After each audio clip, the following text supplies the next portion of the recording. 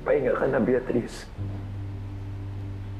Alam ko na sa mabuti kang lugar. Kasi nakita ko yung kabutihan ng puso mo. Good morning, Daddy Nelson! Breakfast? Sorry. Thank you for coming up for me. Masaya akong mamamatay.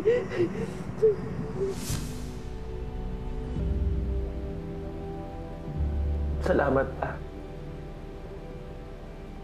Salamat kasi niligtas mo yung asawa ko.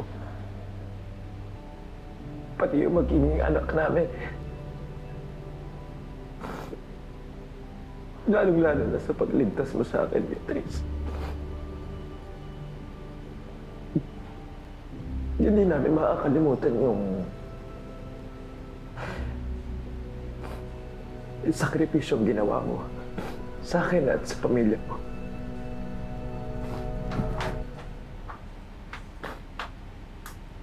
Dahil,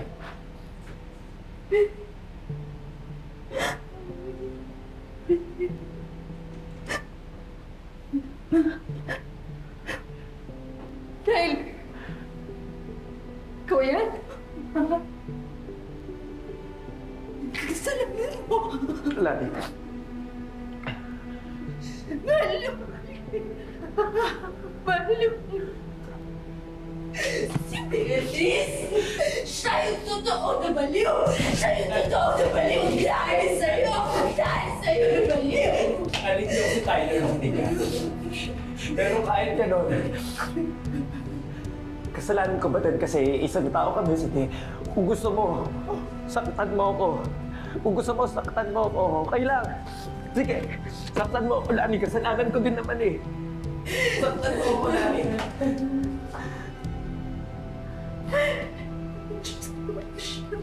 I was there.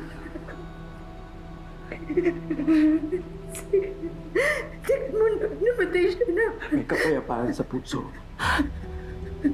Lani, maniwala ka sa akin na nawala siya. Na nawala yung galit niya sa puso niya. Natanggap niya lahat. Maniwala ka sa akin, tatahimik na siya.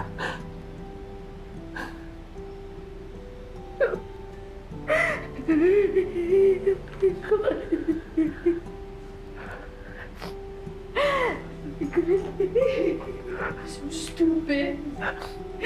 So stupid. Kung nakinig ka lang, ha?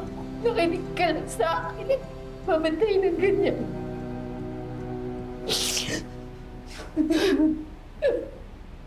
Hindi po yun, tay.